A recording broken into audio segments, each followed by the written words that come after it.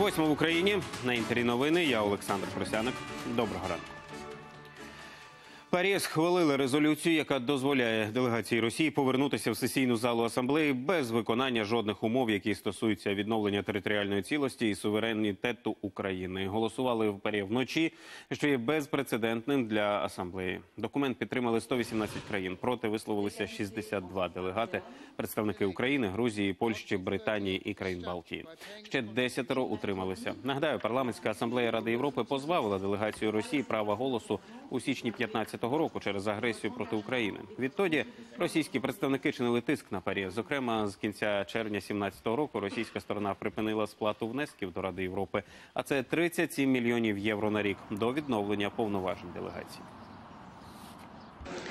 На жаль, голосування в парламентській асамблеї Ради Європи за повернення російської делегації були очікувані. 118 депутатів цієї організації проголосували за те, щоб Росія платила внески і е, не виконувала жодної резолюції парія. Гроші для них виявилися набагато важливіші ніж принципи. У прокуратурі анексованого Росією Криму не вважають протиправною відмову ФСБ госпіталізувати кримсько-татарського активіста Едема Бекірова. Про це повідомляє видання Крим Реалії. У так званій прокуратурі кажуть, буцімто за бранцем наглядають медпрацівники СІЗО, тож його права не порушені. Нагадаю, європейський суд із прав людини ухвалив рішення терміново помістити Бекірова до лікарні. Втім, представники ФСБ Росії, попри рішення ЄСПЛ, відмовляються госпіталізувати тяжкохворого активіста. На Одещині прикордонники спільно з правоохоронцями викрили угруповання, яке виготовляло і продавало великі партії рослинних наркотиків. Під час обшуків вони у них вилучили півмільйона гривень готівкою, зброю, транспорт і 7,5 тонн зілля. Його б вистачило на 200 тисяч доз опію. Вартість такої партії за цінами чорного ринку сягає 23 мільйонів гривень. Трьох організаторів злочинної групи затримали.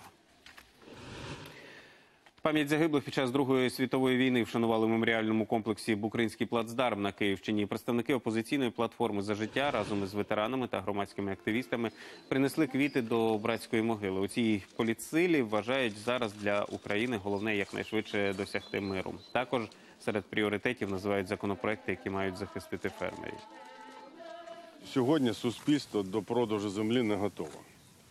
І не готово по багатьох причинах, нема законодавчої бази. Є загроза, що може крупний агрохолдинг або якась іноземна компанія прийти і внаслідок знецінення національної валюти просто скупити землю і залишити без роботи фермерів, а відповідним чином і людей на селі.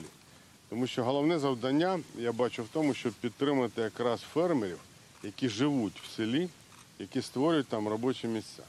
Таких людей у нас 100 тисяч по країні. І якраз, вони є базою для того, щоб село в нас ще залишалось з людьми. У стилі хай так у Знам'янці на Кіровоградщині місцева влада виділила сиротам з інвалідністю, начебто відремонтоване соціальне житло. Проте в діжці меду не минулося без добрячої ложки дьогтю, що затьмарило людям радість, розповість Олена Бренза.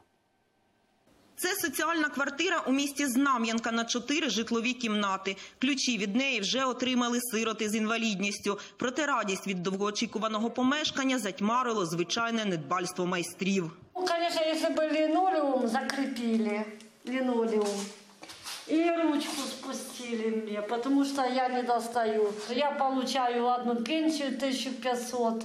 На стелі плями від води, поплавлені розетки, лінолеум постелений аби як, вживані електроконвектори. Шоковані низькою якістю ремонту місцеві активісти. Під тиском громадськості в міськраді створили контрольну комісію, яка й взялася перевіряти, куди витратили кошти з міського бюджету. На вході не виконані всі роботи. Зовнішньо не, не виконані роботи по утепленню фасаду, не виконані роботи по оздобленню е, віконних відкосів, не закриті вони, не, не зроблений пандус. Враховуючи те, що тут люди з обмеженими фізичними можливостями, І головне, в ремонті абсолютно не враховані потреби людей з інвалідністю. Відсутність витяжки немає ні в кухні, ні в ванній кімнаті. Ви бачили людей, які тут, е, яких тут заселили, вони елементарно навіть не в змозі відкрити вікно. Ось Ну для кого це зроблено? Для діт... е, для людей обмеженими можливостями. А от чиновники у Знам'янській міськраді неякісного ремонту не помітили. Роботи від підрядника прийняли і вже за все сплатили майже 200 тисяч гривень. Принимались работы еще в 2018 году. В начале 2018 года. То есть оно перезимовало. Этот год сейчас уже 19 на, как бы, на улице. Их просьбы, побажания и наши, мы все это уго- погодили и как бы пока мы нашли какого-то общего консенсуса. Однак члени контрольної комісії чиновникам не вірять, адже ті запевняли, що минулого року недоліки усунуть. І замість приступити до роботи годують мешканців соцквартири обіцянками. Олена Бринза, Володимир Кувакін. Новини телеканал Інтер. Кіровоградська область.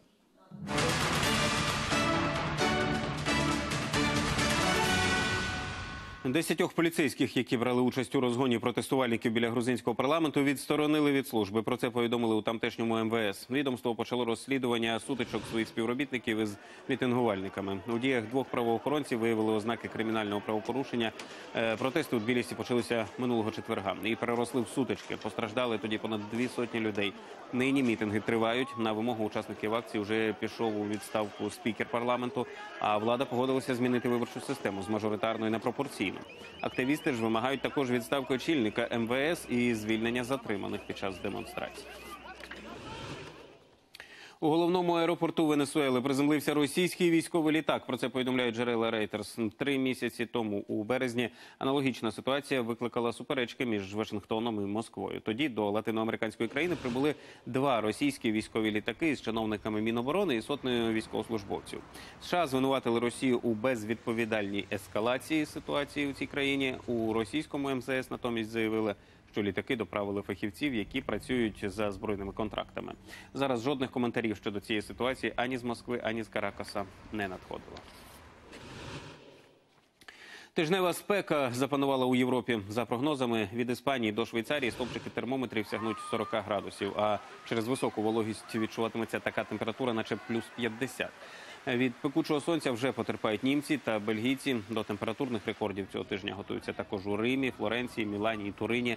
У Франції відтермінували шкільні іспити, почали роздавати воду безхатьками, встановили додаткові питні фонтани. Служба швидкої допомоги, лікарі усі готові до превентивних заходів, щоб найбільш вразливі пацієнти могли отримати допомогу. Хворі, вагітні жінки, діти, люди літнього віку наразі в групі ризику. Тому ми маємо бути готові і реагувати швидко. Ми надаємо інструкції компаніям, щоб вони могли змінити свій графік. Заохочуємо роботу з дому. Людям рекомендуємо уникати громадського транспорту, особливо у найспекотніші години. Протести і молитви за воду південь Індії вже кілька тижнів потерпає від посухи. Через неї зміліли водосховища, і мільйони людей залишилися без води. Місцеві жителі звинувачують усьому не лише запізнілий сезон дощів, а й владу. Мовляв, ще кілька років тому застерігали урядників, що ситуація з водними резервуарами критична, але ті жодних заходів не вжили. Нині мешканці міст Ченнаї та Мадураї вийшли на масові мітинги, вимагають від влади надати людям достатньо питної води.